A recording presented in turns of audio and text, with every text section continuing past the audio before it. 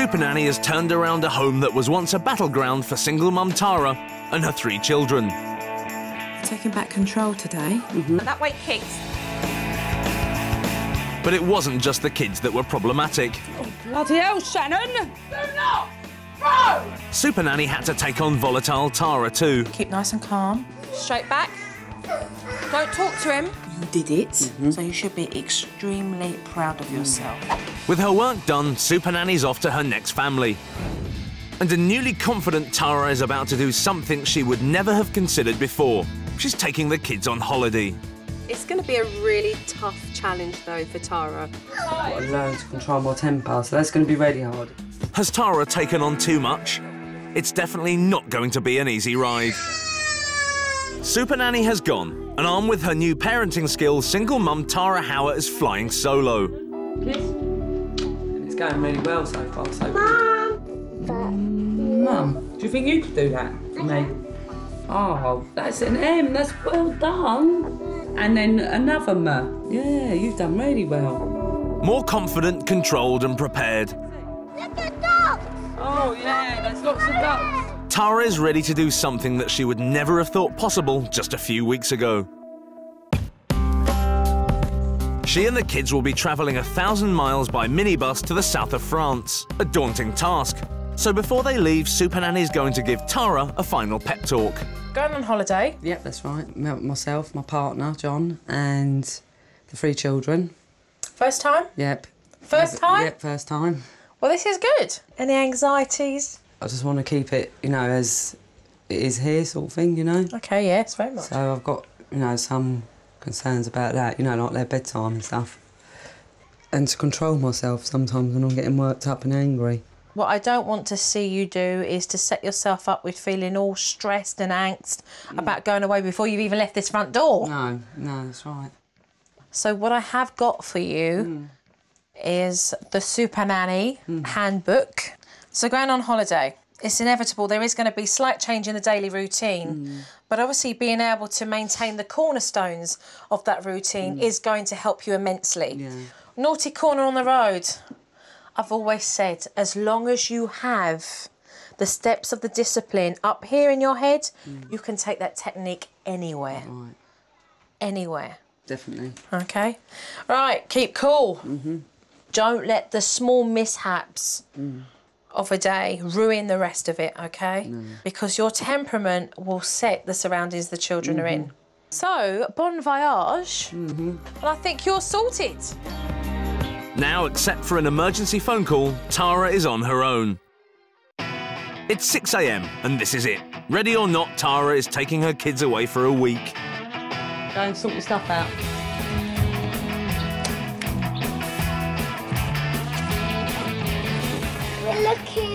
Forward to our holiday. Now she's got the techniques in place, she's a lot calmer, she's more confident, and she's got more direction. And I think all of this is going to really help her have a fun holiday with her children. The worst thing I wasn't looking for was eating snails. It feels too soon since Jo's put the techniques in for them to go on holiday, but um, it's something that I've got to try and something I've got to overcome in order for them to have a normal life like other people. Packed a card game in case I get bored. The one thing that I think is controlling myself, my, you know, the way I feel sometimes. If they're doing something horrible to me, I've got to learn to control my temper, so that's going to be really hard. I would feel fantastic if I could pull it off, definitely. You want to put yours in your bag? One minute. Tara's going to have to compose herself more and not lose it, have more self discipline, and that will go a long way on holiday with making sure that, that, that she can enjoy herself with the children. Oh, yeah. Go on then, Rach, you know how to do it. Well done. Tara's sister has reservations. The day trip's hard enough. I couldn't imagine a week with them. After all, this household was once a war zone.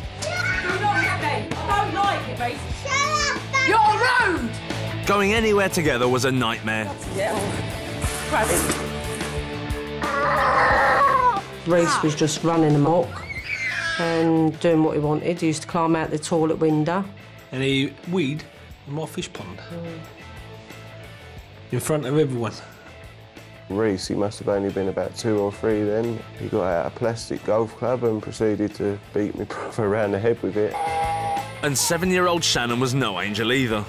Bloody hell, Shannon! She will win, she will scream, she will cry, she will kick. Oi! Shannon and Reese's tantrums were all consuming, and eldest daughter Casey never got a look in. I haven't had much time spending time with her because Reese always comes down, don't let me spend time with my mum. She's had the pep talk, she's got the handbook, but for a successful holiday, Tara needs to keep her own demons at bay. Tara used to shout at them, they used to shout back. I don't want to see you, okay? I think a lot of it's to do with a breakup, weren't it? Yeah. You know, with her marriage. He left her. Well, I suppose you wouldn't be happy, would you, really? I suppose that they can be a bit funny about not having their dad about, and you know, all I ever get is their dad's better. And I'm like, no, he ain't, because you don't, you don't have you all the time. He doesn't see what I see. I can totally empathise with Tara. She's trying to raise the kids and do the best that she can as a single mum. You know, she's got to do everything on her own, which isn't fair, really. So then she gets the amp because she, you know, wants time to herself and she can't have it. With a final check of her handbook, Tara and the kids steel themselves for the 17-hour journey.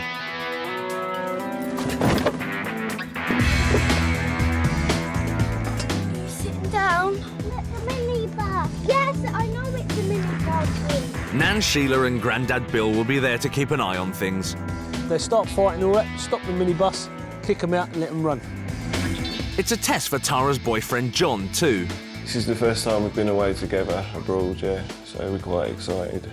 And I think it would be good as well to see, you know, the change in the kids. John's brother will join them at the ferry in another car.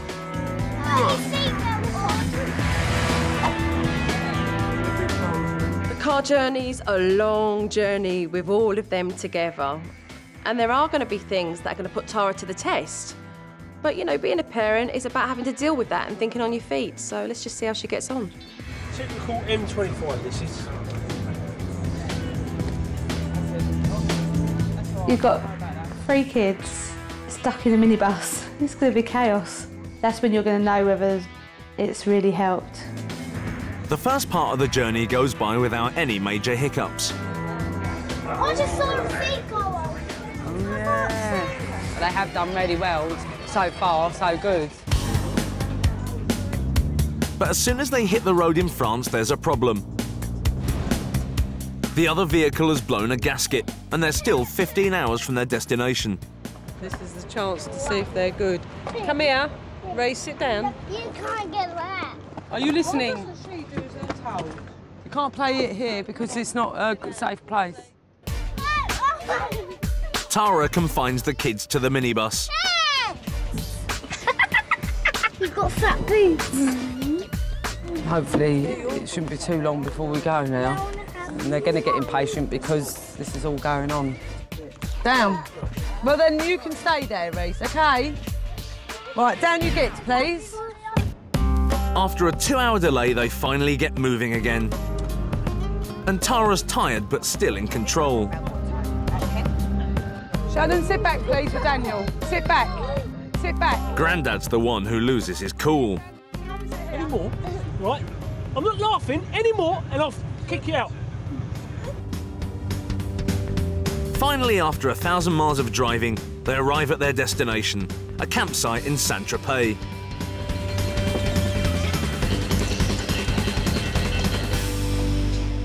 But there's a problem.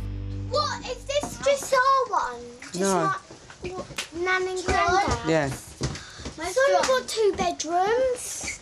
So things haven't got off to a great start. Well, I'm sleeping on my own. For four adults and three children, the accommodation's going to be a real squeeze.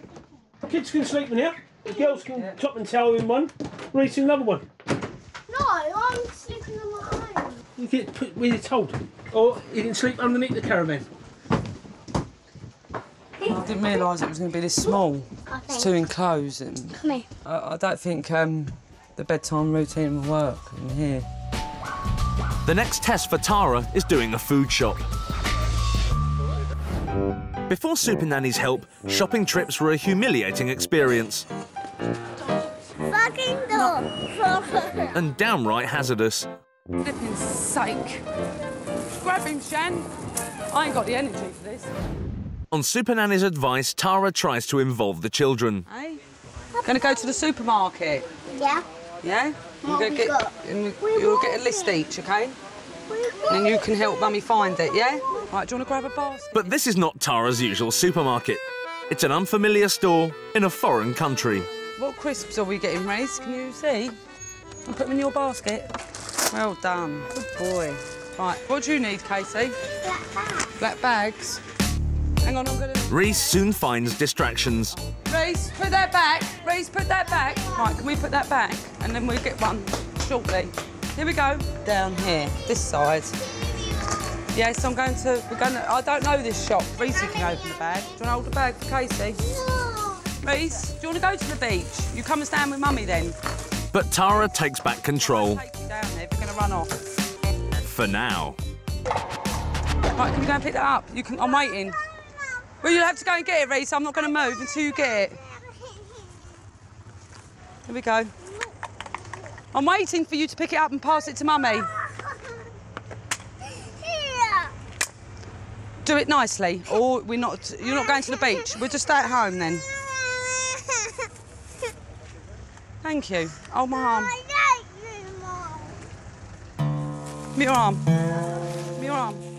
Tara seems to have forgotten Super Nanny's advice. Naughty corner on the road. You can take that technique anywhere. Rather than use the naughty corner, she's withdrawing privileges. Okay, you're not going to the beach. You're staying in. No, we're staying in. You should have thought about that, Reese. You shouldn't have kept hitting me. Right, he's going to bed. End of. But it's not working. Up you get. Up you get. So at three in the afternoon, Tara's forcing Reese to bed. Over you go. Come on. You're tired. You need to go to sleep. Let's go. Yes, you are, Reese. Come on. Come on.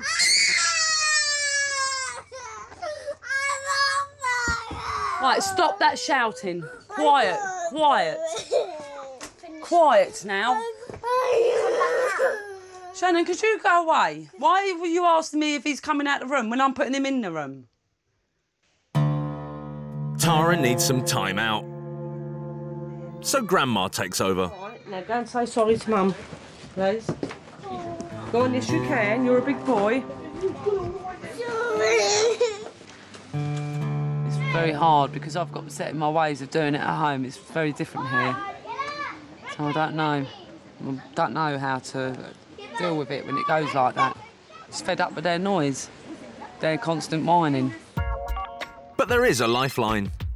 You know, the important thing is that you don't end up hmm. going back to, you know, the Tara who starts losing it and then ends up arguing right, with them, it's you know? Yeah, Yeah. it's true. That is true. You know, like walking back, like from somewhere, or you're walking to somewhere, and they keep Yeah. creating like that. And I do say to them, right, we're not going to do this today. Is that the right way of going about it, though? Or Yeah, I mean, I think if you're in the park mm. and there's and there's like a bench, you can mm. literally that as your naughty corner. Mm. Or when they get back home, you mm. can then place them into the naughty corner and they start to lose their rewards. But remember, don't cut off your nose to spite your face. If the whole family are going somewhere for the day and you end up saying to them, "Oh, well, that's it, you're not going to go now," it means the mm. whole family have to suffer that consequence.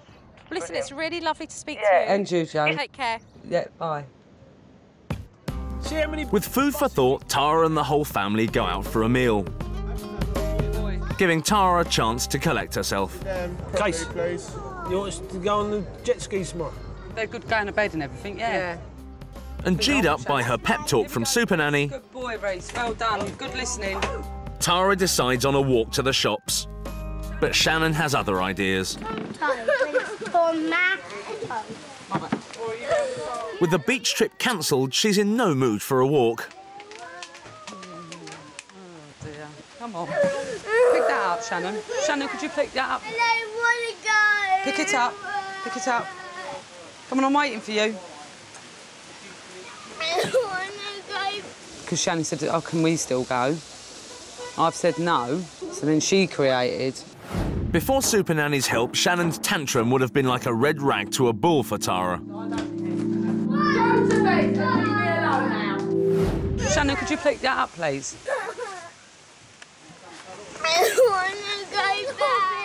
But this time she ignores Shannon's tantrum I'm not letting it get to me. Just staying calm now.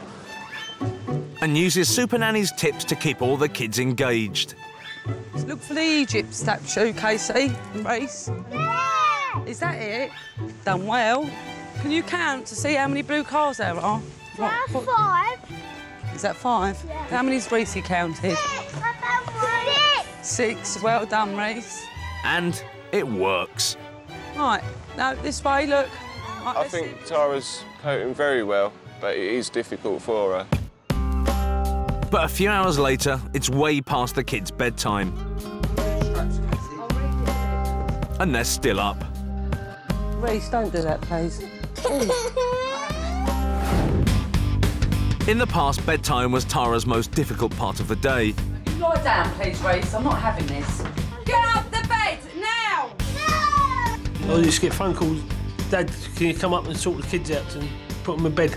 She does tend to give up very quickly when the going gets tough. Off you go. She just gives him to have a bit of pace. But Super Nanny showed Tara that she just needed to keep her cool. Keep your voice nice and Yeah. calm. See the, way, see the way I'm talking to you at the moment? Yeah. Just keep everything really calm.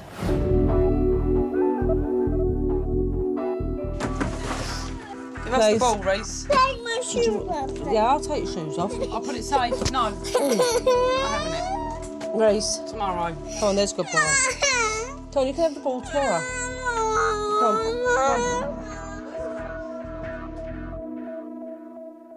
Tara's gone off with the hump.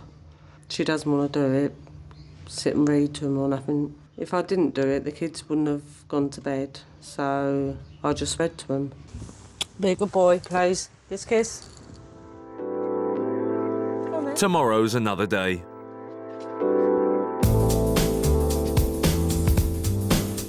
The next morning, Tara resolves to start again and focuses on quality time with her kids. Oh, well done, Reese. I got that cookie. Oh, yeah. Pre Super Nanny, the girls barely spent any time with their mum What are you supposed to read as a school? because Tara was too busy fighting fire with fire. But now she's learnt the value of one on one time. Oh, that's nice. So a girly shopping trip is on the agenda. What colours do you like? You tell Mummy what colours you like. Huh? The best thing is more time with my mum. When she smiles at me. It makes me happy and giggle a lot. What about that one? Was it a little skirt and a wraparound top? You must remember. Messi. Messi. And later, with the grandparents there to babysit, Tara even manages to find some time for herself with boyfriend John. Yeah, I do think it's um, important for John and Tara to have time, you know, to be on their own without the kids. That night, with mum and the kids relaxed, bedtime goes by without a hitch.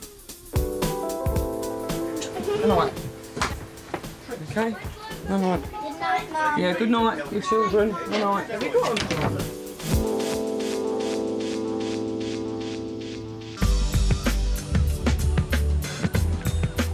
Just a few weeks ago, even a day trip seemed like an impossible dream. And before Super Nanny came, it would have been a nightmare to take them on holiday. But since she's been, you know, it's been really, really good. I've been really impressed with Tara and the kids, the way they, they've behaved and the way Tara's controlled them. They are nice kids to be with now. It's been it's been difficult, but it's worked. You know, it's been brilliant. And it really has helped. I'm really enjoying the holiday so far. I'll definitely come away again. Well, I'm going to. I look forward to it next year. A week later, Tara is back at home. Hello. Tara. Hello. Hello, Jo. How was the rest of your holiday? yeah, it was lovely. Yeah, kids enjoy Mm, it? Yeah, they did. Yep. Good. Yep, yep, they really enjoyed it. When I last spoke to you, and you were ploughing through some of the techniques, a little bit of difficulty, Yeah. and I was like, stick with it. Remember, we were talking about the routine Yeah, that's right. and about you being on track with that. Yeah. So how's that now? Yeah, it's brilliant. I've come back and I've stuck to it, basically, you know. Good for you. It was a little bit hard out there, but mm. I struggled along and I've come back and I've soon got back into it. And now they're just totally different kids. It's, ma- it's amazing. Look at you. You're like, Yeah. yep, it's all fine, Jo. Yeah. Everything's great. Yeah, it is. You see, you're happy. Yeah, definitely, 100% happy, yeah. Take care, Tara. Thanks. And the future's looking bright. As a result of the holiday, I, I know that I can control my temper and the way I feel. And it, you know, and it does work. Tara's finding it a lot easier with the children. I think she wants to keep the kids, you know, from going back to the way they were. Reports Tara's getting back from the teachers at school uh, are a lot better. Their concentration's improved. Since Super Nanny's been here, my mum talks to us more and she plays and she's nice and she kisses. I'm delighted at the progress that Tara has made. She made a choice to change the way she was raising her children. And because of that, she's now seeing the results that are making her whole family a lot happier. I've learned a lot about my children. You know, underneath all that, there is a lot of love. My mum before was eight and now she is